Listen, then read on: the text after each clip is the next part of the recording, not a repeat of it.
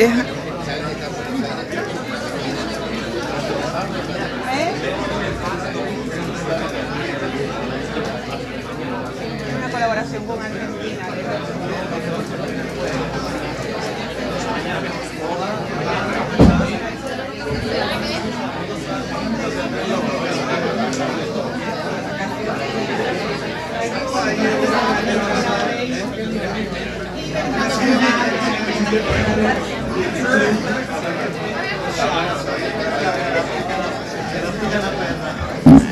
Vamos a comenzar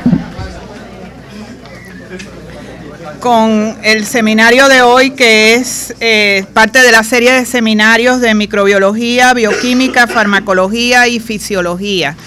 Así que tenemos, muchas gracias por estar aquí y gracias por eh, poder eh, compartir recursos entre todos los departamentos.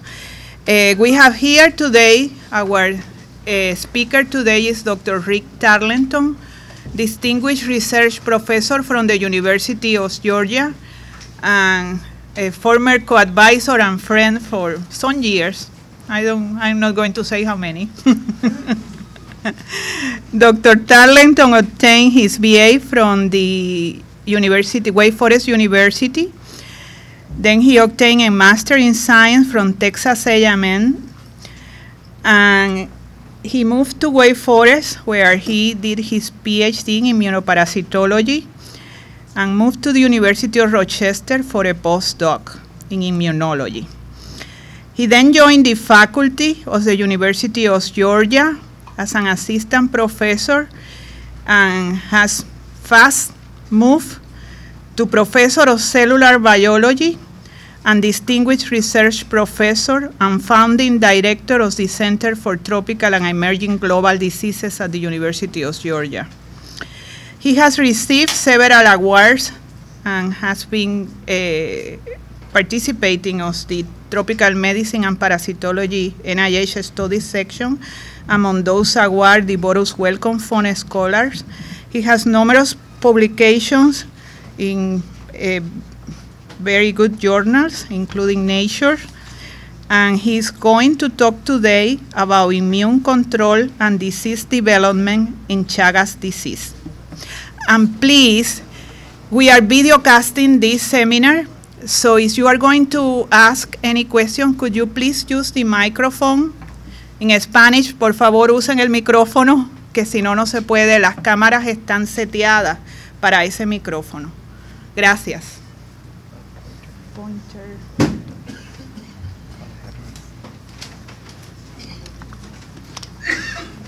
Well, thank you, Adelpha, and uh, thank you for coming.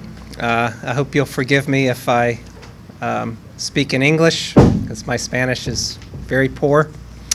Um, it's a pleasure to be here again. I uh, especially like seeing some old friends, including Adelpha, who um, was my first graduate student just a few years ago uh, when we were both very young, and we're still pretty young, but uh, um, it's good to be here, and uh, I hope you'll um, uh, enjoy the, the lecture today.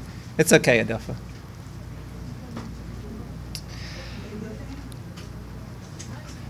So I, um, I got a little uh, ribbing about having the, the uh, Brazilian currency shown here, but I'm showing Brazilian currency because this is Carlos Chagas on the uh, 10,000 cruzados bill. And uh, Brazilians uh, honor their scientists very nicely by putting them on currency, although unfortunately, uh, when this was um, initially released, it was about is worth about twenty dollars, and now it's worth um, fractions of pennies, so you can't find them anymore. Uh, but uh, still, the Carlos Chagas is there, and the life cycle of T. cruzi, and on the back a picture of uh, Chagas in his laboratory. So.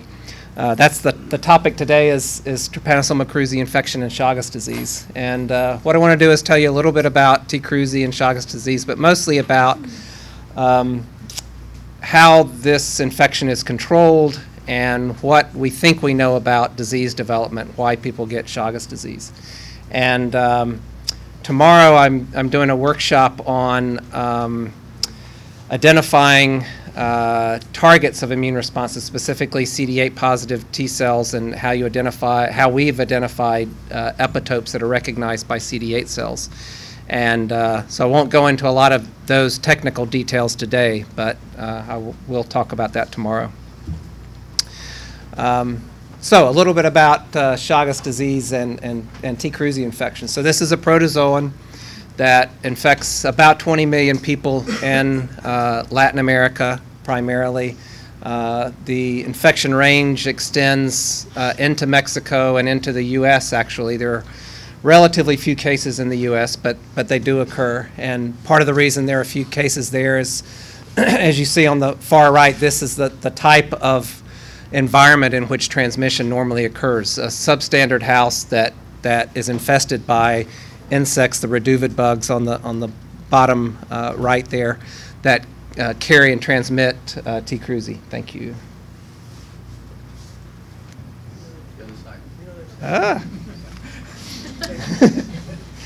Uh, so, so this is uh, this is transmitted by reduvid bugs, which are which are blood-feeding insects. They solely feed on blood, and they normally live in, in forest environments. They live in burrows of animals and in palm trees, where they feed on uh, basically any sort of uh, animal that's around birds, but also uh, all basically all mammals, and uh, they like living in, in environments like this where uh, they can hide in the, in the roofs and the walls, and at night there are lots of people or animals or whatever to feed on in the house, and the, so they have easy access to, to blood meals. And so uh, during the day they're difficult to see and find, but at night they will come out and feed.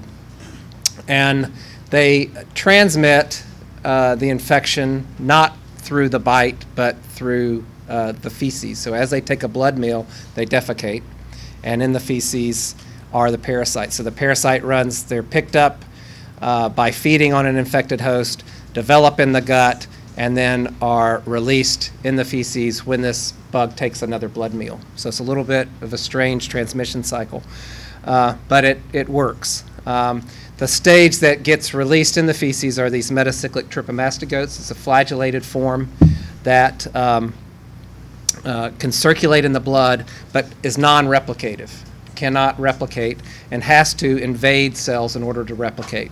So uh, this, uh, this form will circulate in the tissues or in the blood and will invade a large variety of types of cells. Uh, in, in culture, you can get essentially any cell that will uh, adhere to plastic or glass can be invaded by T. cruzi in vivo, uh, parasites disperse very widely to all, all tissues and organs, but uh, ultimately they tend to persist in muscle. And um, in muscle, so this metacyclic stage invades initially in a, in a phagosome, but then uh, um, uh, gets released from that phagosome into the cytoplasm of the infected cell and transforms into this intracellular amastigote form, this rounded up, non-flagellated stage. And this is a stage that is replicating. So as parasites invade, release into the cytoplasm, transform into amastigotes, then they go through a replication cycle that usually extends over four to five days and results in several hundred parasites from the initial entering parasite. These will then convert into the trypamastogote flagellated stage they will burst out of the cell, circulate in the blood, and reinvade other cells. So again, these are non-replicating stages and um, must penetrate cells in order to, to divide. And this is what gets picked up by insects that feed on infected uh, animals. So it's a relatively simple uh, life cycle. This is, uh, I didn't mention, the epimastigote stage is a, is a stage that's in the gut of the insect, and it's another replicating stage. So it's, a, it's, it's not a, uh, a, a, very complex life cycle. There are two major stages that the mammalian host sees, this blood stage, trypamastogote, and this tissue stage, amastigote. And uh, we're primarily interested in this stage for a number of different reasons. One is that there's been a lot of study of these extracellular trypamastogote stage. And quite a bit is known about its biology, about its uh, surface antigens, uh, about its penetration of cells, but um, very little effectively has been done with this stage in terms of control and um, especially in vaccine development. So a lot of things have been tried to combat this infection at the stage of this extracellular form, and most of that hasn't worked very well. Um, this stage has been less well investigated, and less was known at least five or six years ago about the immune response to the intracellular stage, and so we've, we've focused on that very heavily. The other reason we focused on it is that this is a replicating stage, and if you can, if you can attack the parasite at the stage of replication and prevent replication, then you can uh, presumably very effectively control it. Um, the, towards the end of the talk, I'll talk more about Chagas disease, and this is a disease that occurs in about 30 to 40 percent of people who are infected with T. cruzi, and it involves mainly disease in the heart and the gut. Uh, it's a disease of muscle, and it's uh, a disease that results, uh, we believe, from the persistence, the ability of T. cruzi to persist in muscle. So what happens early in infection with T. cruzi is that parasites go throughout the body.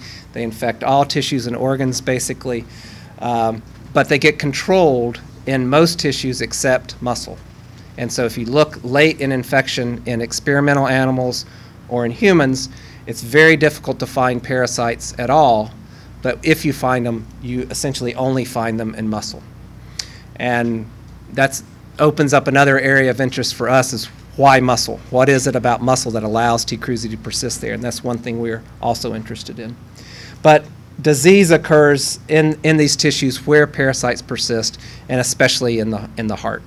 And um, uh, one of our uh, additional interests is what, um, what's the difference between people who develop disease and don't develop disease? They, they both both groups are infected. Uh, both groups have persistence of parasites, but one group develops disease and the, and the other doesn't. And there's a spectrum of disease that's seen. So, what is it that discriminates between severe disease and, and no disease at all? And uh, what I hope to convince you of is that there, there there's an immunological basis for that. It has to do with how well the immune system deals with this infection. So, uh, please stop me if I'm speaking too quickly or if I'm not being clear or if you have questions of any type. Okay. So I've, I've told you a lot of this already. This is a persistent chronic infection. People who get infected, animals that get infected, are essentially infected for life. Uh, there are probably people that cure, but they're rare and not well documented at all. And um, most people who get infected stay infected for life. Uh, the parasites can go to any tissue, but um, they eventually become restricted, it appears, to, to muscle. Uh, the infection occurs in a large range of different species. Humans happen to be an incidental host for T. cruzi. Um, the preferred host, at least for, for insects to feed on, there's a large variety of other mammals that, that insects that these insects will feed on besides humans. So uh, the fact that humans get infected is probably uh, a consequence of the fact that they live in houses where these insects infest. And this is, um, this is bad in terms of trying to control this parasite because it's in so many different species, it's hard to imagine that you could ever eradicate it. Uh, it's good for us in the laboratory because many species are natural hosts for this infection, so we can study it in a mouse system, which we do a lot of work in, and, and the mouse is a normal host. So you, you see an infection and, and disease in mice similar to what you see in humans. So it's a very good model. Um, I'll talk about disease etiology. I told you my take on that, which is that this is a problem of parasite persistence. There are other people who believe that this is a problem of uh, the immune system being um, out of balance, basically that this is an autoimmune disease. And um, so there's some controversy about that. And there's the diagnostics are not terribly good for this infection. The therapeutics are, are quite poor. And uh, we have a strong interest in vaccine development. I won't talk about that today, but, but there's relatively few programs uh, focused on vaccine development for this infection. So what I want to talk about mainly uh, and show you data on is how T. cruzi infection is controlled by the immune system, uh, why we think this control is not complete or what we know about that, why uh, do hosts uh, make a good immune response but can't get rid of this parasite? And then how does this control or the lack of control correlate with disease severity? What is the link between the ability to control and the types of responses that are initiated and the subsequent development of disease some years later? So this slide has a lot of data on it from a number of different studies, and, and the bottom line is, is given at the top, is that you need a set of immune responses to T. cruzi in order to control this infection. And that set includes producing antibodies, and presumably those are important in controlling that extracellular stage that is exposed to antibodies in the blood. You need uh, T helper cell responses, so-called CD4 positive T cell responses, and these need to be of a type 1 uh, cytokine uh, production. So CD4 cells are helper T cells.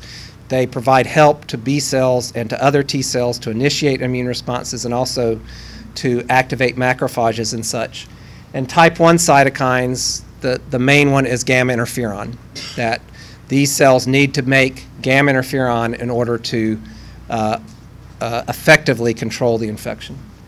And then you also need CD8 positive T cell responses. These are T cells that are known as cytolytic T cells, and they're also uh, gamma interferon producing T cells when they're, when they're TC1 T cells.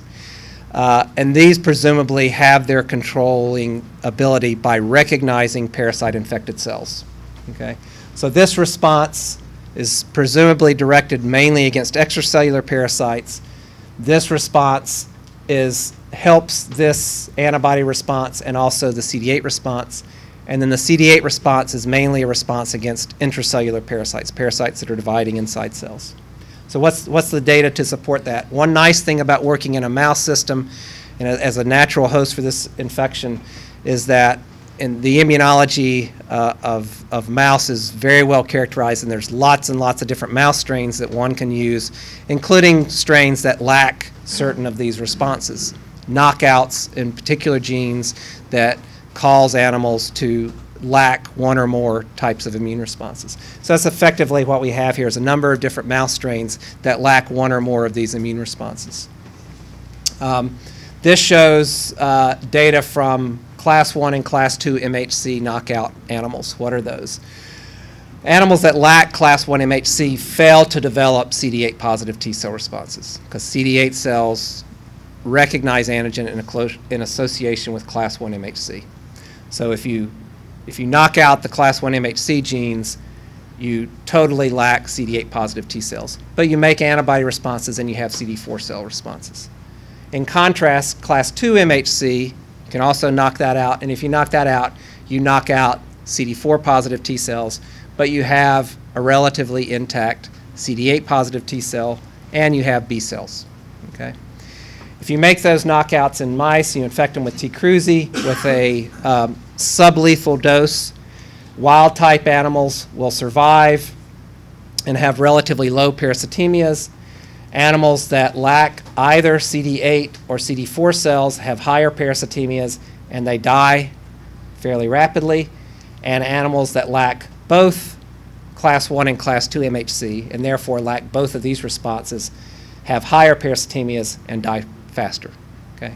So you need both CD4 and CD8 cells, at least if you're a mouse, to survive this infection. Likewise, you can use animals like the mu-MT mice, which fail to make antibody responses, but have an otherwise normal CD4 and CD8 response. And here again, these are uh, controls other animals that lack class 1 MHC, the beta 2Ms and the TAP1s. these are knockouts again in, in, in the CD8 population, and you see the same thing high parasitemia and early time to death if you lack uh, CD8 positive T cells. If you lack B cells, these mu-MT mice, you actually, the mice do pretty well for a while. They'll survive with low parasitemias for several weeks, but eventually they start to develop high parasitemias and eventually they die. And this happens even if you give them a very low infection uh, dose. They cannot control the infection uh, long term in the absence of antibody production. So not only do you need CD4 and CD8 cells, but you need B cells. And then the last graph here uh, looks at this issue of type 1 and type 2 cytokine responses. So T cells, when they are activated to make responses, they, they have a decision to make uh, in terms of what types of cytokines they will make. And these are, for the most part, divided up into, into type 1 and type 2 cytokines. Type 1 cytokines are things like gamma interferon. Type 2 cytokines are things like uh, IL-4, IL-5, IL-10, IL-13. Cytokines that promote a different set of immune responses. People who have allergic reactions make type 2 cytokines against allergens, and that's why they have the set of symptoms they do when they, when they have allergic reactions. Um, the STAT4 and the STAT6 are signaling molecules that are involved in the T cell for turning on those cytokine genes. Okay? An animal that lacks STAT4, is a knockout in STAT4, can't make type 1 cytokines. So they don't make gamma interferon. Animals that lack STAT6 will make type 1 cytokines but will not make type 2 cytokines. Okay? So here you can determine it, at, this, at this bridge point of making a decision to be a type 1 or a type 2 T cell, which one of those is, is, uh, is most important in terms of controlling T. cruzi infection. And here you see a, bit, uh, uh, a big difference. A STAT6 knockout does perfectly fine with T. cruzi infection. Doesn't need to make IL-4, IL-13, IL-5. Uh, those animals do just as well as a wild type animal. But in the absence of STAT4, and therefore the absence of type 1 cytokines, these animals look essentially like the animals that have no T cells. They will uh, develop parasitemias and they'll die. So not only do you have to have CD4 and CD8 cells, but those cells have to be making a set of cytokines that are of the type 1 type. Okay? Okay, so that tells us something about the, the, the, array of immune responses that an animal needs to make in order to control this infection. Uh, we've focused in, as I said, on these intracellular stages and on the recognition of infected cells by CD8 positive T cells. So what, what does this involve? So these extracellular stages, these trypomastogotes, as I said, invade a cell and then they round up and start dividing as these amastogote forms.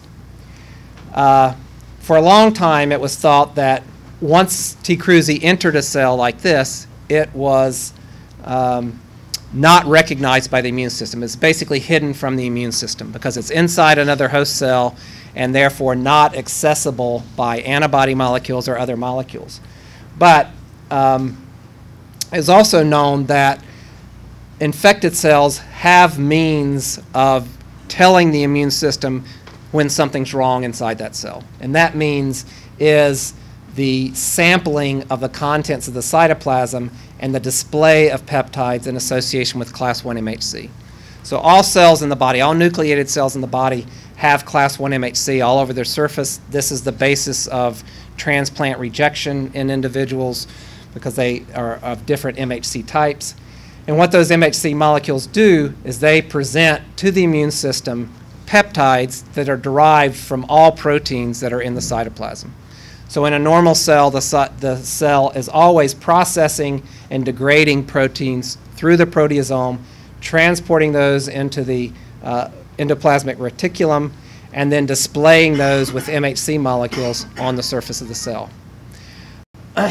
if this is a normal cell and is not infected, the immune system, uh, T cells of the immune uh, system do not recognize anything as being foreign about this cell. There's nothing wrong with it. However, if one of these peptides or multiple of these peptides are derived from some intracellular parasite, T. cruzi, an intracellular bacteria, a virus, even uh, uh, mutated proteins in a tumor cell, these peptides will be displayed and potentially you have CD8 positive T cells that can recognize that foreignness and can kill this infected cell. And it kills this infected cell by lysing it or by producing cytokines that uh, allow this cell to become activated to kill the, the pathogens that are inside of it. And so we're interested in these guys and particularly in what they're recognizing, what parasite antigens are there, are being presented to the immune system and how these guys play a role in control of the infection. In addition to these knockout sorts of experiments where we can, we can show that CD8 cells are required for survival, we can also show that if one generates CD8 cells that are specific for, for one of these, oops, for one of these peptides, if we, if we make a pool of these CD8 cells that recognize one of these T. cruzi peptides, we can transfer these cells to naive animals and protect them from infection. Okay? And that's what's shown in this experiment, generating a T cell line that is specific for one T. cruzi peptide. If we transfer those cells to an animal, to a set of animals, and give them a lethal infection with T. cruzi, the uh, animals that received no transfer or a transfer of a, of a T cell line that's specific, in this case for adenovirus, those animals die, whereas the animals that received T cells, CD8 positive T cells that are specific for this one parasite peptide, survive. So, um, another way of, of, of looking at this issue of what these CD8 cells are doing is using this sort of transfer system to uh, study the, the, um, the effector function of these CD8 cells. And so, as I said, uh, these CD8 cells have two major types of activity. They can kill this parasite infected cell, and they can make gamma interferon, which will induce this cell to kill parasites or activate other cells in the, in the area around this particular infected cell. So one of the questions we asked was, which of these activities is most important? Is it the ability of these cells to kill, or is it their ability to make gamma interferon? So the way we approach that is to generate, first generate parasites that expressed a molecule that we could, um, that we had tools to study well. And what we chose to do was to transfect T. cruzi with a gene that encodes chicken ovalbumin. Okay? This is a molecule that's widely used by immunologists as a model antigen. And uh, there are lots of different tools to, to study this, uh, the response to this molecule. And one of the main ones that we're using here is a T cell receptor transgenic mouse where all its CD8 cells are specific for ovalbumin. Okay? So you have a ready source of T cells that are specific for this one antigen, right? And we made a parasite that expresses this one antigen. And then we use this T cell receptor transgenic to generate cells that made either gamma interferon, in this case, or IL 4. So these are so called type 1 CD8 cells or type 2 CD8 cells. One population uh, makes gamma interferon, the other population makes uh, IL 4, and actually a, a little tiny bit of gamma interferon. But both populations have cytolytic activity. Okay? So now you have T cells that one can do these sorts of transfer experiments with, except one set will kill and make gamma interferon, and the other set will kill but will make IL-4 rather than gamma interferon. Okay? And the question is, do both of these protect or just, just one of them pr protect? Do they protect because they have both have cytolytic activity, or does the cytokine production determine whether they protect or not? And uh, the, the result is that actually, interestingly, both of these uh, cells protect, both of these sets of cells protect, but they don't protect because they're both cytolytic. They both protect because they both end up making enough gamma interferon to protect. How did we determine that? Well, we determined that by making these T cell receptor transgenics back crossing them onto a background that couldn't make gamma interferon. Okay? So that's what's shown here. If you take TC1 or TC2 cells, these or these, when they're on a wild type background and transfer them into animals and then challenge those animals, both of them protect. Okay? And the initial uh, interpretation of that is that, well, they must protect because they're both cytolytic. okay, not because of the cytokine production. But if you now make these TC1s and TC2s so that they cannot make gamma interferon, these are knockouts in gamma interferon, then neither one of them protect. Okay? So they still have cytolytic activity, but they have to be making gamma interferon in order to protect. And what happens in these transfers is that this small population of gamma interferon producing cells actually expands when you transfer them into mice, and they become protective. So the result of a large number of experiments here tells us that cytolysis isn't sufficient for protection and that gamma interferon is definitely required for protection by these CD8 cells. Okay. So we know that we have to have this CD8 cell response. We know that gamma interferon is critical in that response. Now we have a whole series of other questions about these CD8 cells. What are they recognizing? Uh, how, do, how are these responses generated? Uh, we have some questions about immunological memory that I'll talk a little bit about. And then how do these responses get regulated? Why isn't this response sufficient to cure the animal, essentially? Um, I'll talk a lot more about this tomorrow because that's, that's the, the focus of the, of the workshop. Um, uh, I'll mention very briefly here a little bit about how we've identified some epitopes.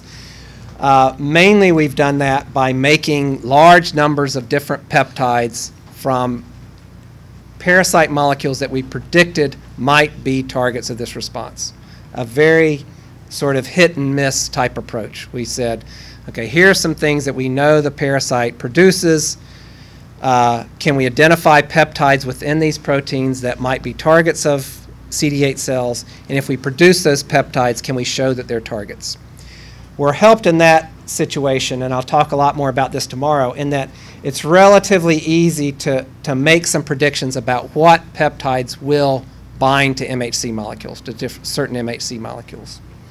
Um, and one can do that because there are certain residues, certain uh, amino acids that allow certain peptides to bind to a particular MHC molecule. It's not a perfect prediction, but it allows you to, instead of making every possible peptide in the whole protein, you can make a few peptides for each protein and test those. And that's what we've done here. We've made a set of peptides from a couple of different proteins, and we find that one of these peptides ends up being a target of cytolytic T cells generated in a T. cruzi infected mouse, whereas the other peptides uh, are not targets. Okay, and this gives us a, a, a peptide. This gives us a, a way to start to study the evolution of this response in animals. How do these T cells get generated? Where do they go? How do they circulate? How do they uh, uh, or what cytokines do they produce when they get somewhere, basically to track this response as it's developing. And one thing that's really helped in that uh, um, area is the uh, development of so-called class 1 MHC tetramers.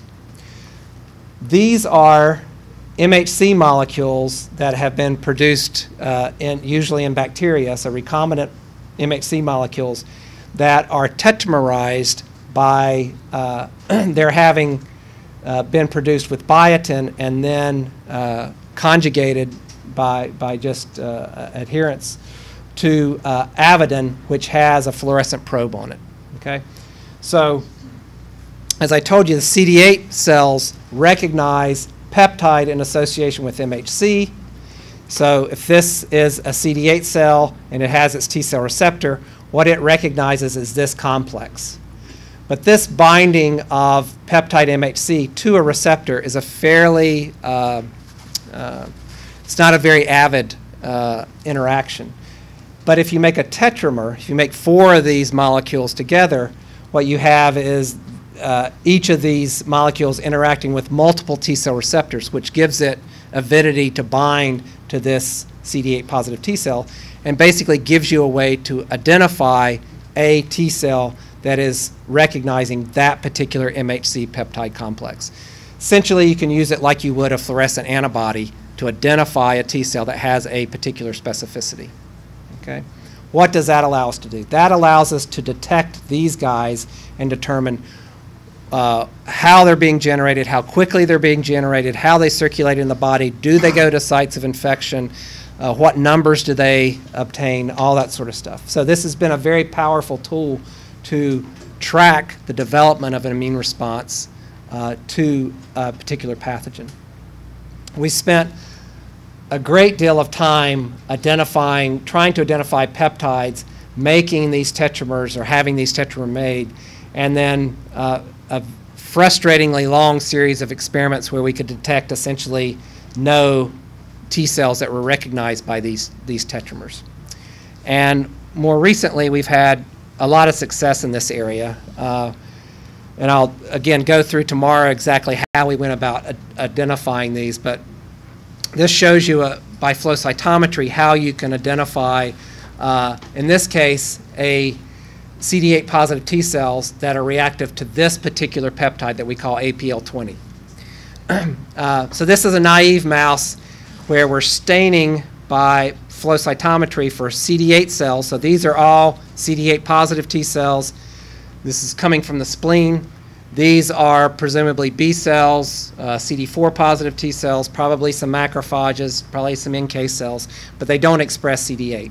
And then on this axis, we're staining with this tetramer of APL20 in association with class 1 MHC and with a fluorochrome that allows us to identify these cells. And in a naive animal, so you, what we're looking for is CD8 cells that are bound by this particular complex, and essentially there's nothing there in the naive animal. In an animal with a chronic T. cruzi infection, we find that over 2% in this particular case of all the CD8 cells bind to this particular molecule. Okay, and this was a great surprise to us because we'd spent a long time trying to identify these guys and we could never get anything anywhere close to this. And in fact, when we start looking um, through the course of infection, out here, the previous slide showed the chronic infection where we find 2 to 5% of the CD8 cells. Actually, if we look in the acute infection, over 20% of all the CD8 cells recognize this one epitope. Okay? So this is a parasite that has about 12,000 genes. Um, this particular epitope is encoded by a set of molecules called the transialidase molecules. The parasite has, ten, has a thousand transialidase genes, yet the response in this case is focused primarily on this one single peptide. Uh, that's a big surprise to us. I don't have a very good uh, uh, explanation by how that occurs or why that occurs. Why does this response dominated by this one peptide? Again, I'll talk about this a little bit more in detail tomorrow, but we've identified over 400 epitopes that are similar to, to APL20 that are encoded by different members of this transialidase family. Okay? And why this particular peptide, as opposed to the other 400, don't dominate the response, I don't know yet. That's one, one of our major questions. One characteristic of this particular peptide is that it is present in a number of different number of these different transialidase genes. So this is another advantage we have in T. cruzi is that the genome has recently been sequenced We've also done uh, a proteome analysis, which I'll talk about more tomorrow. But we know there are 18 different genes in the annotated genome that have this APL20 epitope. So that's one reason perhaps why it becomes dominant. But APL21 is present in 100 and, almost 170 different genes. Why isn't it, is it, it dominant? Okay, one characteristic is perhaps how well these bind to MHC. But you can see these two peptides differ by only one amino acid. Where is that here? An N versus a K. So one of these is a very dominant response. The other is, is essentially no response.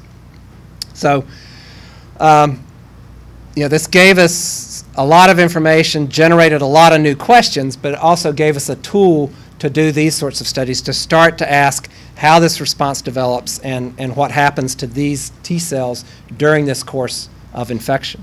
So that's what we've, we've used it as a tool to do these sorts of things. So one of the things we can do is we can say, well, what, what is the effect of the dose of infection on the generation of these uh, T cells? And not surprisingly, as you increase the infective dose, you generate a higher number of these particular T cells recognizing this epitope. Okay, more parasites in, more T cells get generated early in the course of infection. If you go out, so this is day 15 post-infection. If you look at day 100 post-infection, these numbers all come down to about the same level, 2 to 5 percent. But early in the infection, you generate a stronger response with more parasites there. Another interesting piece of information that, again, surprised us was that depending on the parasite strain that one infects with, uh, you get a different level of these particular T cells. So this is the one, this is the strain we do most of our work in, and at the peak response, in this case, 22% of all the CD8 cells recognize this particular epitope. But in the case of um, the Silvio strain, only about 2% of all the T cells recognize this epitope. Still a dominant uh, response, but much, much lower than this guy, okay? Why is this? I mean, we know this epitope is present in nearly 20 different genes. It's very unlikely that the Silvio strain has none of those genes, okay? It, almost certainly that epitope is there. Why is it so dominant here and less dominant here? We don't, we don't know the, the reason for that. So these are other questions that, that are open that, that we're hoping to, to, uh, to answer. One of the biggest questions, one of the, the biggest things that this tool allows us to do is to start to look at what happens in terms of immunological memory. And this is, is interesting to us and I think interesting to the field in general because very little is known about what happens to immune responses, especially CD8 responses, in chronic infections. Okay? What's known about control and the generation of memory is mostly gleaned from studies in infections, mostly viral infections, that one cures. Okay? You get an infection, you generate a CD8 response, you get rid of the virus, and then you have those cells for the rest of your life. You have memory. Okay? What's less understood is what happens in a chronic infection like this one, where you have an infection, you generate the response, you control the infection, but the infection stays there. You never get rid of it. What happens? Do you ever develop memory? Do you ever develop real memory cells? Or does the presence of antigen prevent you from developing full memory? And there's, there's good data that that is the case. Uh, so one of the things we're interested in is what happens in chronically infected animals and chronically infected individuals with respect to their T cells. Do they have this memory phenotype? And can you um, manipulate them to become better effector cells? Because what we have in chronic infections is a very good immune response that is just not quite sufficient to clear the infection. So, can you make that response just a little bit better so that you actually cure rather than have persistence. And that's, that's where we're headed. So what can we learn from this sort of thing? Well, so, so what happens in a normal immune response is that CD8 positive cells get stimulated by the presentation of antigen, this MHC peptide complex, interacting with the T cell receptor on a CD8 cell, and a bunch of other interactions also uh, taking place. I haven't talked to you about these, but, but there's a lot of other signals that have to be passed here. And this results in the expansion of these CD8 cells. As I just showed you in the previous graph, at 20 days uh, post-infection, 22% of all the CD8 cells recognize one of these peptides. So you go from a very small number of cells reactive to a particular epitope to a very large number of cells reactive to that, that epitope. But then this you, you can't maintain this huge population of CD8 cells for every infection that you ever have. What happens, has to happen is that as antigen gets cleared, you have a death of a large number of these cells. You have a homeostatic mechanism that decreases this level of uh, the frequency of cells, but you end up with a frequency that is above the initial starting background. And this is part of what happens with memory is that you go from very low frequency to very high frequency and then come back down to, to, to a level of persistence that is above the background but not, not way up here. So we know already that we have this sort of memory going on because we can look at these cells and see that, yes, we have an expansion, yes, we have a contraction, and then we have a persistence of these cells. So what, what are the characteristics of these cells? Are they true memory cells? Are they good effectors? Or are they somewhat insufficient in really dealing with this, this infection?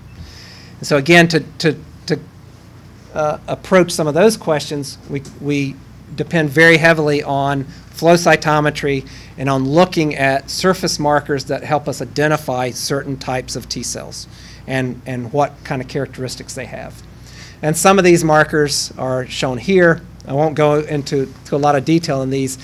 Uh, CD43 and CD11A are activation markers. Once the T cell has seen antigen, it will upregulate these markers and will, in general, keep these uh, expressed at a high level on the cell. So one can tell if a T cell has seen antigen by whether it expresses CD43 and CD11A.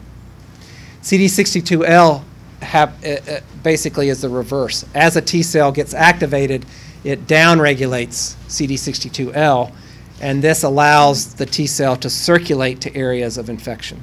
Okay?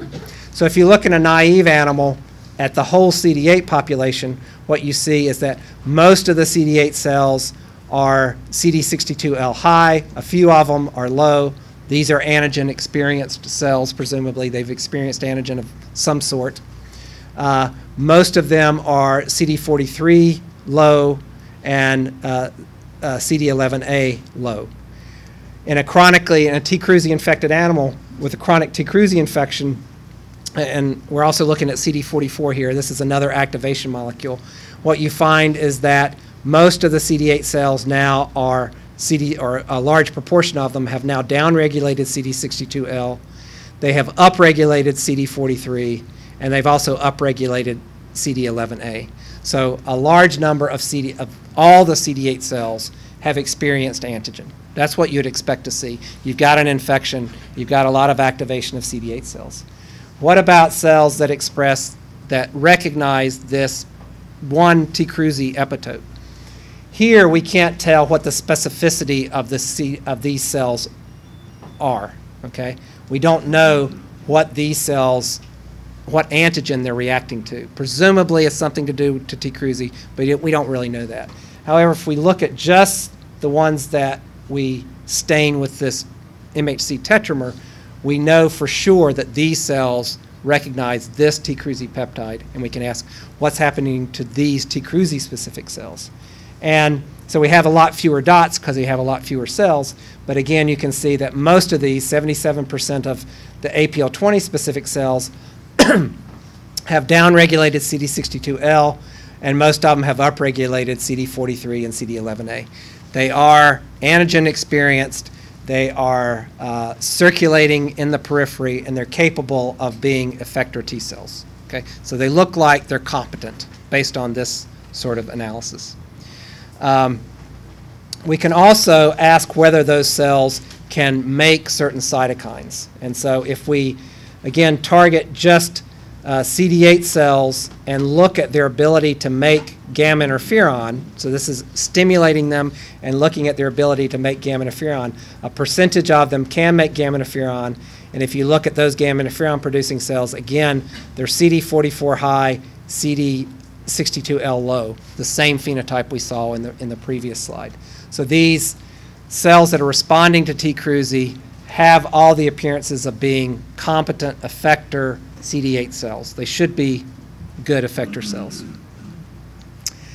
Uh, then one can ask, well, what happens if you remove those cells out of an animal and transfer them into another animal and look at their ability to react to the parasite?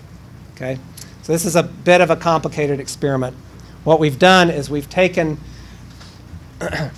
we've taken this population of cells that is uh, that has downregulated CD62L, and we have sorted those out using a uh, fluorescence activated cell sorter so that we have CD62L high and CD62L low cells. And we have these for both CD4 and CD8 populations. So I'm just going to focus on the CD8 population because that's mainly what I'm interested in here.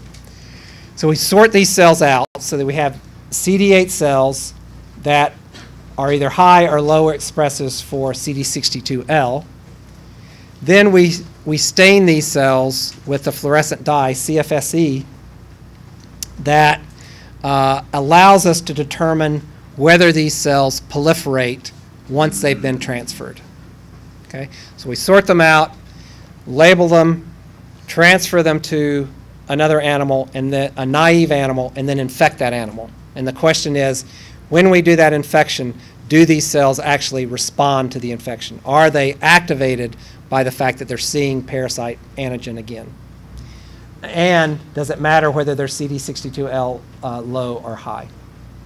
And we determine whether they proliferated or not because they're, they're stained with CFSE, and every time they divide, they dilute out the amount of dye.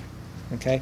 So you start with a population that is very bright, based on, again, this is fluorescence.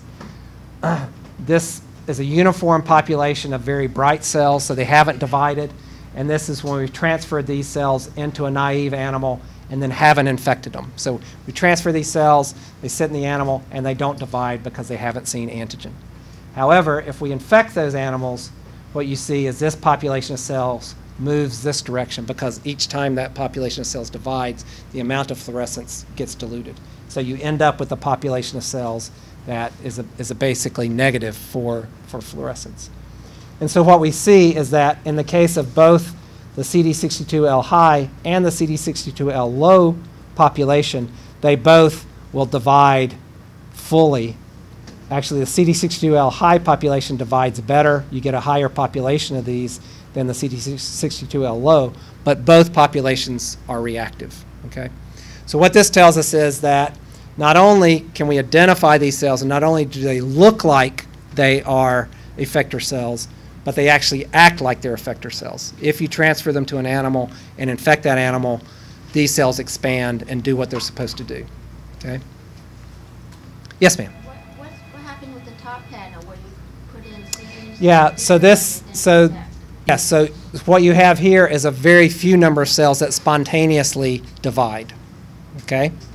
And that's, um, for the CT62L high population, that's known to occur. So one thing about memory cells is that not only do they expand in number, but they also, because they, um, because they have to be around presumably for a long time in the absence of antigen, they have the ability to occasionally replicate in the absence of antigen. So, so it's called homeostatic proliferation. So if you, if you study a memory cell population, what you see is that every uh, week or two, they'll go through a division, just one round of division. And presumably that's what we've seen here is that a few of these cells have divided. The bulk of them are still non-dividing, but a few of them have divided. Yeah, it's a good question. Other questions? Yeah, I have one. Yes, sir. Uh, Have you tried this also in a chronic? Yeah. you're showing is, is an acute Yeah. and I'm, I'm concerned about escape mutants. Yeah.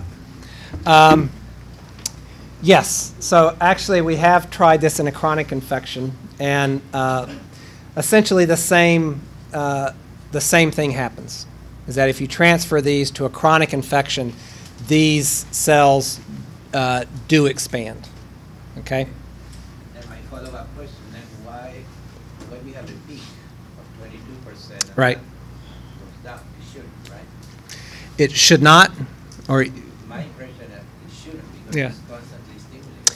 Yeah, the but the level of stimulation presumably uh, changes. So that peak of growth of of responsive cells also correlates with the load of parasites.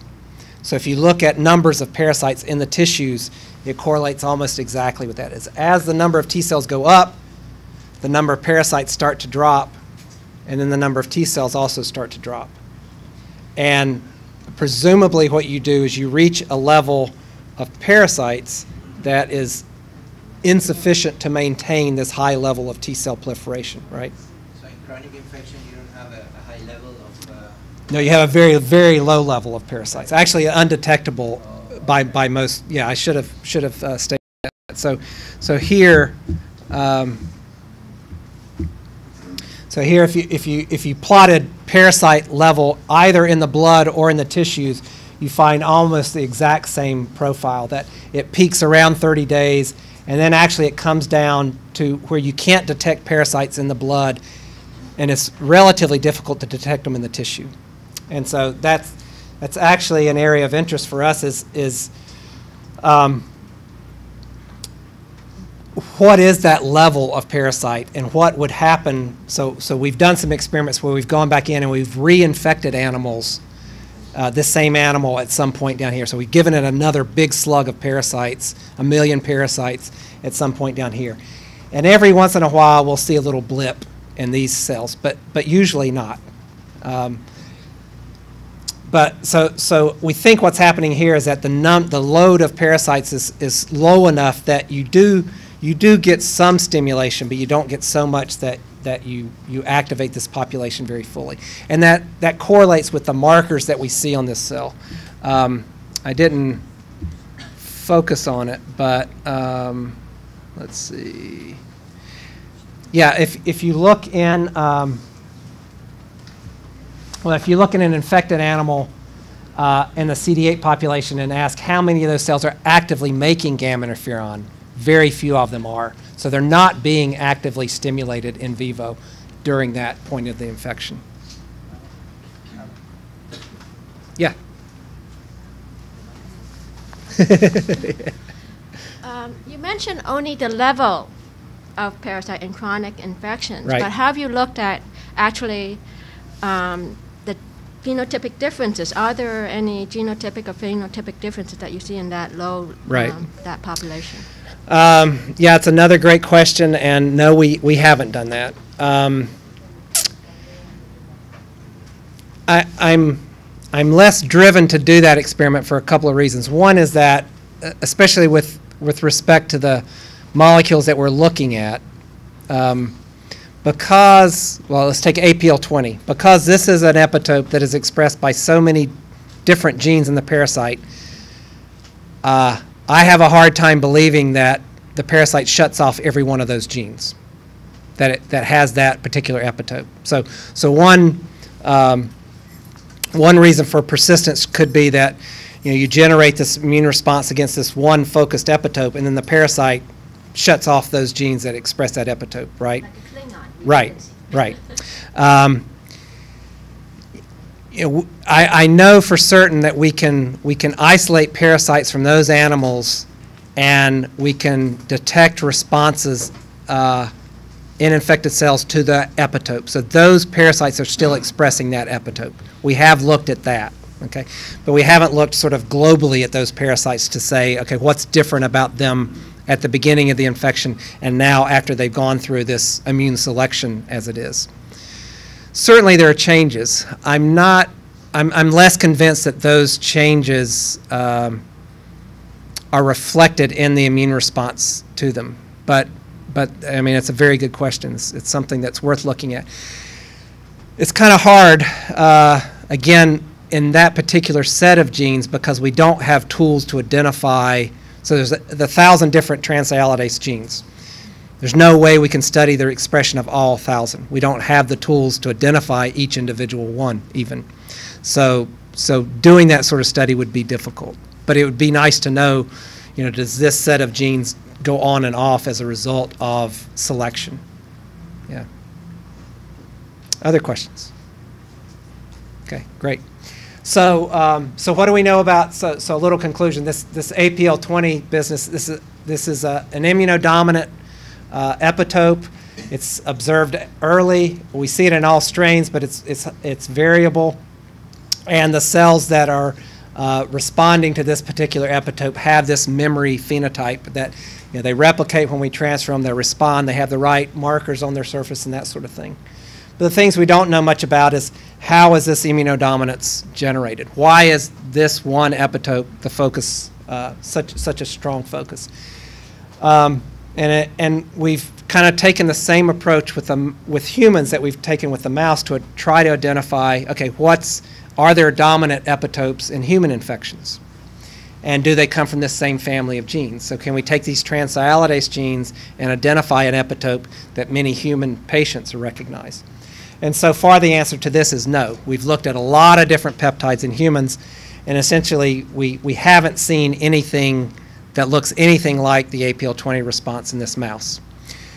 We see epitopes that get recognized. They're um, you know reasonable levels of them, but but nothing like what we see in this mouse. So so either this particular mouse infection is a little bit of a, an anomaly, and we've stumbled onto something, or um, and I, and I kind of favor that idea is that that really we're looking at an animal that has a very restricted MHC type, uh, and that because of that, the, the immune response gets focused very narrowly, whereas in humans and in, in outbred animals, you're going to have a much wider response and, and less likely that it's going to be focused in so, so specifically. That's what this, this suggests to us. I can't say that, this, that we won't find anything because we haven't looked at every possible peptide that the parasite produces, and nor will we. There's just too many of them. But, but from what we've looked at, we don't see that. Um, and then the other thing we're trying to do is to look at uh, what happens if we if we go back into this system and start to manipulate the response of these cells. So um, can we uh, go back into these guys and vaccinate with uh, a construct that would boost these cells up even further. And if we do that, what happens to the parasite load? Can, can we actually use this response to really generate a better immune response? And that's, that's something we're working on now. Um, so then the, the, the last sort of thing I want to talk about is, is uh, why is this control not complete? So we, we've, obviously we have a very strong immune response to several epitopes and, and one in particular, why is this not sufficient to get rid of the parasite? You know, it controls parasites down to a low level, but why don't why don't they uh, uh, why aren't they totally cleared? And um, so there's a couple of different things we're working on. I'm going to talk uh, very briefly about this, and then a little bit about um, uh, uh, the generation of these responses in different individuals. The other things we've looked at, I won't talk about some um, altered peptide ligands is, is a fairly complex thing where we're, we're interested in the possibility that certain of these epitopes will suppress the responses to other epitopes, and we have a little bit of data for that, but it's, it's really an unfinished story right now. The other popular thing in immunology these days is, is, is regulatory T cells. And so uh, in most infections, what you find is that you stimulate a nice strong response, but at the same time you have so-called regulatory. They used to be called suppressor T cells, but they're not called suppressors anymore. Now they're regulatory. And uh, that these cells sort of dampen the immune response a little bit to control things to, to prevent it from getting out of control. We've looked at this, and, and so far we don't find a, a role for these in, in regulating these, these CD8 responses. But again, this is a, a bit of an unfinished story. Um, so this gets us into the realm of of Chagas disease. And so, what, what is Chagas disease? And it's um, there's a very uh, a quite varied literature on Chagas disease, and and I like to uh, quote this because it, it this is from a, a textbook published in 1926, and it sort of reflects the fact that there's a lot of misinformation about Chagas disease pretty bad here, but it gets it's it's also continues into the into the current. So so um, uh, I'll, I'll read you this very briefly. Uh, it talks about T. cruzi multiplying in the heart, and very often and with most dire results, parasites invade the brain and spinal cord, which does happen, but it's pretty rare. When this happens, mortality is high, and it is only a pity that it is not higher since it would be better if death always eliminated these unfortunate trypanosome victims who are spared only for an unproductive, piteously mutilated life doomed to grow up with the intellect of an infant as paralytics, idiots, or imbeciles. yeah, that's what it sounds like, doesn't it? Uh, It's yeah. I mean, this is a very well-respected uh, parasitologist of the time, but uh, you know, not only this this not true, it's a little harsh too. I think. Um, so, so there, there's there's a lot of information about Chagas disease that isn't quite accurate that still persists in the literature. So, what is Chagas disease? So this this shows you heart and and gut from uh, Chagastic patients, and essentially. Uh, in humans, 20 to 30 years after infection, and about 30 to 40 percent of people, as I said, uh, they start to develop clinical symptoms of, of Chagas disease. And this is largely seen in enlargement of the heart and thinning of the muscle wall. So these are hearts where uh, a light bulb has been placed in the middle, and you can see the, how thin the muscle wall is. Apical aneurysms are common, and in the gut, in the colon, and the esophagus, you also lose muscle uh, elasticity due to destruction of muscle tissue. And this studies of Chagas disease have been, at least initially, were very much focused on on uh, on uh, standard uh, uh, histopathology. And so, if you look early in, a, in a, an acute infection, one sees a situation like this. This is normal muscle tissue here, and here in the middle you have a parasite infected cell. So each one of these dots in here is, is a parasite. Uh, what you don't see here is any inflammation around this infected cell, okay, which is a little strange. I mean, people look at this and say, well, you'd expect here you got all these parasites in this infected cell, yet the immune system isn't detecting it. And this is one of the reasons why people concluded that once T. cruzi went inside a cell, it was hidden from the immune system. Okay? In contrast, if you look in a chronically infected individual, you see this sort of situation where you see lots, uh, very few muscle fibers and a lot of inflammatory cells. So there's no parasites here, at least that one can readily pick out. All of these are mononuclear cells, okay? They're all inflammatory cells. This uh, section of tissue actually came from a person who had T. cruzi infection but had no clinical symptoms, died in a car accident, and it was then determined that they had um, an inflamed heart and had had uh, had uh, Chagas disease. But at, at this point in, in, in the process, had not shown any clinical symptoms. So you can have a lot of damage, obviously, without showing clinical symptoms. But here, so, so the situation here is lots of inflammation and no parasites. And what, what people concluded from that was, well, you know, your immune system is uh, obviously gone crazy. You've got lots of inflammation. There's nothing stimulating that inflammation, and you're destroying tissue. This must be an autoimmune disease. Okay? And what's rarely seen is this sort of situation. And this is actually uh, this is actually a slide from one of those uh, knockout animals that lacks uh, CD8 positive T cells. And here you have a parasite infected cell with a lot of inflammation in this area, but um, these inflammatory cells actually end up being, they're mostly granulocytes because this animal doesn't have CD8 positive T cells. But this is, is what you rarely see parasites and inflammation in the same area.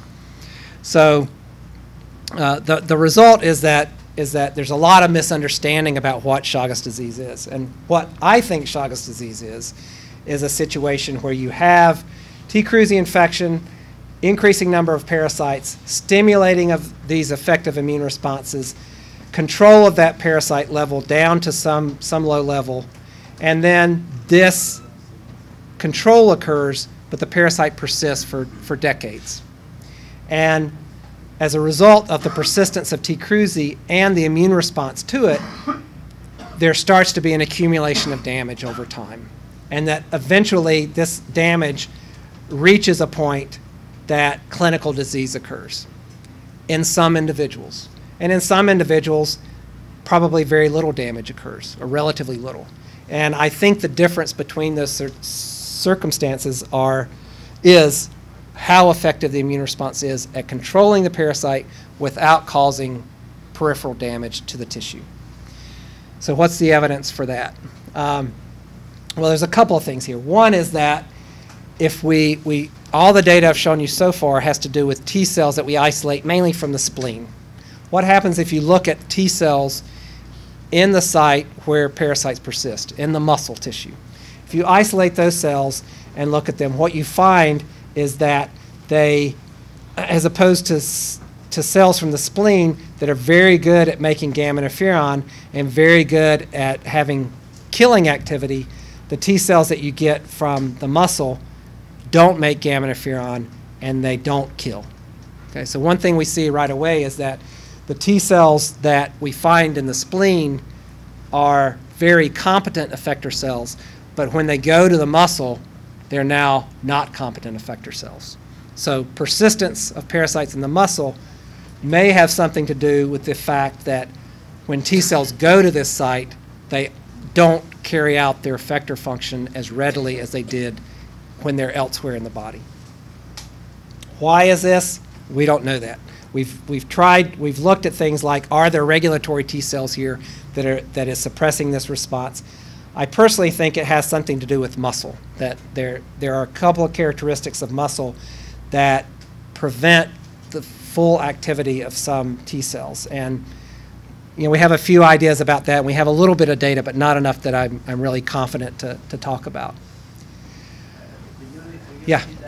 those, those spleen cells, uh, are, they- what is the, you know, how do you present the antigen? Okay, in this case- or, or, I mean, So, so, yeah, so the experiment is we, um, in this case, uh, we isolate the cells and we're stimulating them, in this case, with uh, anti-T cell receptor antibodies. So they're, it's not parasite antigen. So we're just asking, can the cells in the spleen make gamma interferon when they're stimulated non-specifically? Okay? And if you do that with a, with a naive animal, you get essentially no response. Uh, if you do it with, with uh, a chronically infected animal, you get a very high percentage of responding cells. uh, if you, if you give them a a parasite infected muscle cell, Right. even if it is a spleen cell, Right. will you see the same? Um,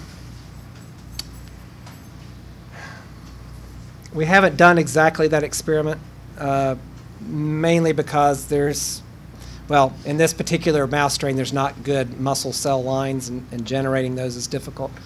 Um, I can tell you if you give it, um, well, we've, we've done that in other systems where we've taken, yes, we actually have done that experiment. If you, if you take these spleen cells and expose them to uh, parasite-infected muscles, they, they react very well to parasite-infected muscle. So it's not anything about those muscle cells per se that prevents, they, they are presenting antigen, okay? And they're not themselves turning off the T cells. That's using muscle cell lines, though. It's not using primary muscle, which, which may be different. So they're, they're transformed cell lines. So, yeah, the, the real experiment would be to take muscle, primary muscle, and infect that and see if you can get responses to these cells. And we haven't done that. It's a good question. Okay. Um, okay, so, so, so one last piece of data uh, has to do with, with human patients and, and the development of disease and the association between disease development and generation of immune responses. And so I'll just make this very quick because it's, it's, uh, uh, it's a result of a, a study that took a long time to do. But essentially, what we're looking at here is people that have different clinical levels of disease. G0 is no clinical disease, and G3 is severe disease, and then in between are G1 and G2. And this is based on EKGs and echocardiograms and, and chest x-rays to determine uh, the level of clinical disease. So the patients are, are grouped into these groupings, and we have a set of controls who are uninfected. So all of these are infected. They've all been infected for at least 20 years, and we know that because of where they've lived and how long they lived in the city where they're not being exposed. And then we've looked at the ability of uh, T cells from these guys to make interferon gamma again in response to T cruzi. And what you see is that of the G0 and the G1s, you have a range of responses, but in general, these guys have a higher set of responses than the G3s in particular, but also the G2s. So people, and these, these are statistically different results. So again, you have a range of results, but in general, what happens is that people who have more severe disease have less ability to generate gamma interferon in response to T cruzi antigen. And this would be, this is consistent with our prediction that people who develop disease have a less efficient immune response to the parasite and control it less effectively. This is correlative, correlative so far, and what we're doing now, what we've just started is a study where we're starting with a group of G0 patients, and we're going to follow them over hopefully 10 years, at least five years, and look at their, uh, look to see whether these individuals, the low responders, end up developing disease at some point during the, during this follow-up period. Okay, so let me then summarize uh, briefly. I think I've shown you that the CD8 cells are crucial for immune control of T. cruzi, that we've identified some targets of this response, in particular this transialidase uh, set of genes, that these uh, CD8 cells that are specific for this transialidase epitope, this APL20, have uh, cytolytic activity, they produce gamma interferon, and they have what looks to be a, an effector memory uh, type phenotype that, um, that these CD8 cells control, but they don't get rid of T. cruzi, and that the development of Chagas disease results from a persistence of T. cruzi and the inability to regulate well the response to parasite. And uh, we believe that persistence may be related to perhaps to this suppressive environment in the muscle, something about muscle that prevents effective immune responses from, from being uh, generated. And uh, then that this last piece of data that the variation in the level of T cell responses to T. cruzi correlates with whether one develops severe disease or, or not severe disease. And uh, I want to acknowledge Burroughs Wellcome Fund and the NIH who funded our work. The, uh, the last set of data I showed you was is work done in, in Buenos Aires, Argentina by our uh, collaborators there. Um, most of the immunology uh, work that I showed you was done by Diana Martin, who's a, a, postdoc in the lab, and she's worked with a number of other uh, people. And then some of the work on the muscle-derived T cells was done by Jennifer Levy and, and Josh uh, Kotner. So thanks for your attention, and I'll be glad to answer any other questions.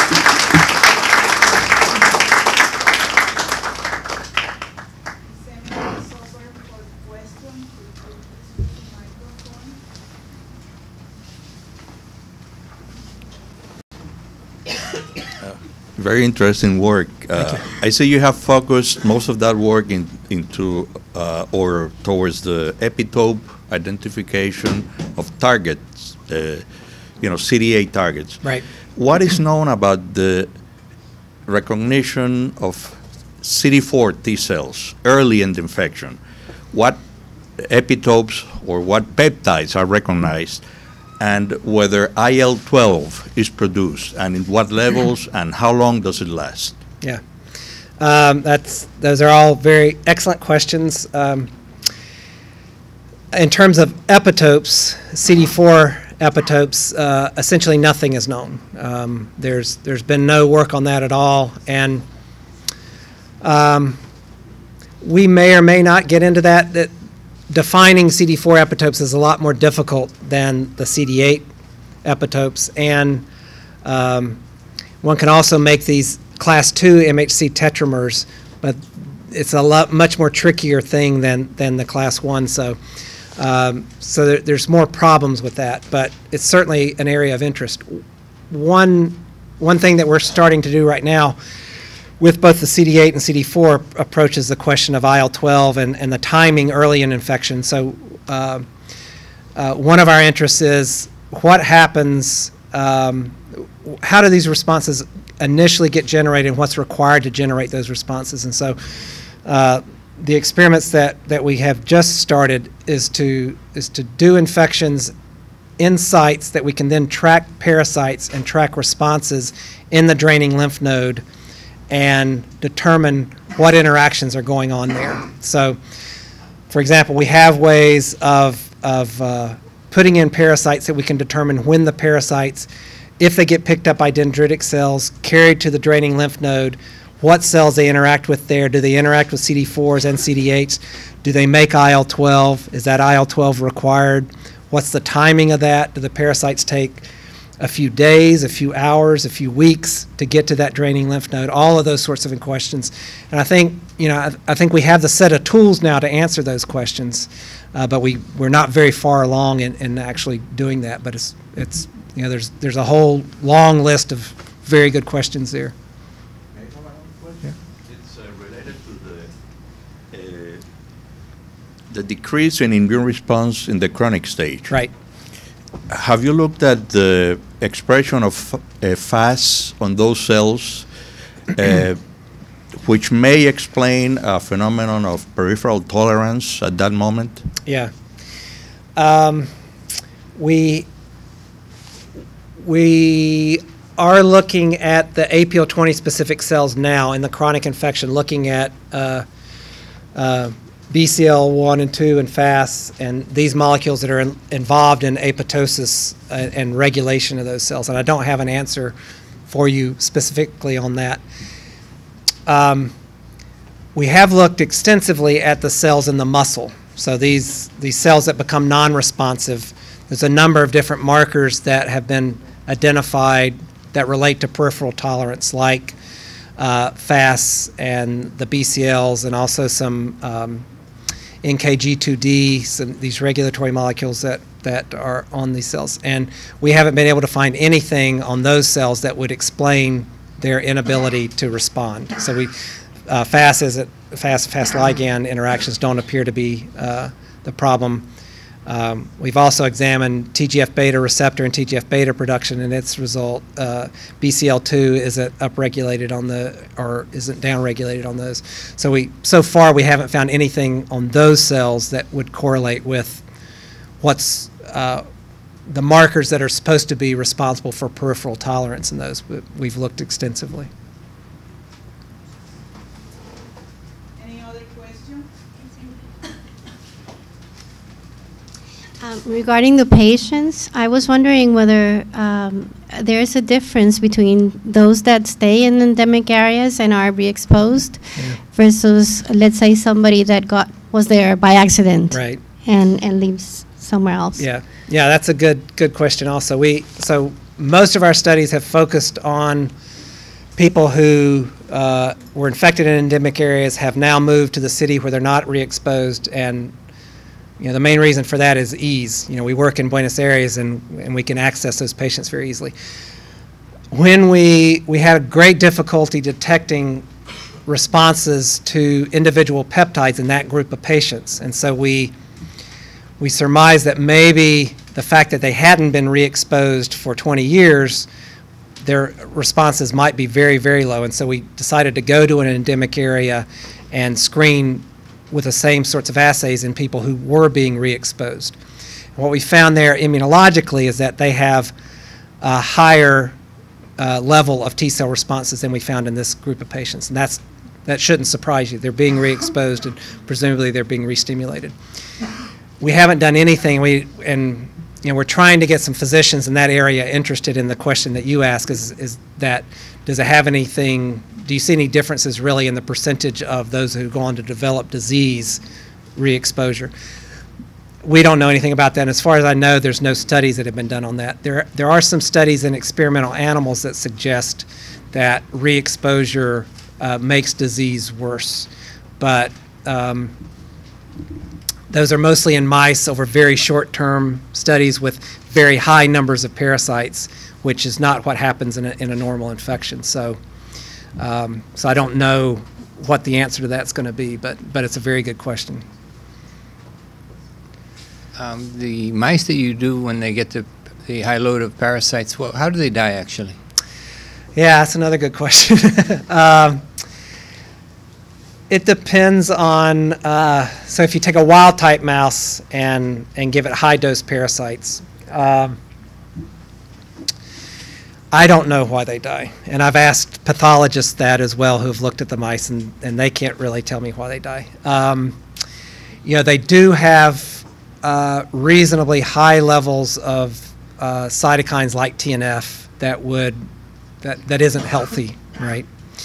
Uh, they don't die, in wild type mice at least, they don't die of overwhelming numbers of, of parasites. Um, So if you take a, if you take one of the knockout mice that, um, that die at, say, day 25 of infection, and you look at it at day 20, you know, there are 10 times as many parasites in the muscle of those animals than in an animal, a wild-type animal that's dead at the same time. Uh, so, it- it looks like when the parasite goes up, very soon that they die. yeah, yeah. So, so in, in, in those knockouts, they're, they're dying from overwhelming parasite load. No question about that. A wild-type mouse, they can, you know, certain of them will die on the same sort of time scale if you give them enough parasites. They're not dying of the same level of parasites, but I, I can't tell you what they're dying of. Yeah. It's it's sort of interesting, but but it's not really all that interesting because in human patients it's very rare. You know, you don't immunocompetent individuals rarely die from the acute infection. So so determining why a- an animal dies of acute infection is, is, is interesting maybe for that animal, but not really applicable, very applicable to human infection. Any other question? Thank you for an excellent Thank you. Thank you for great audience.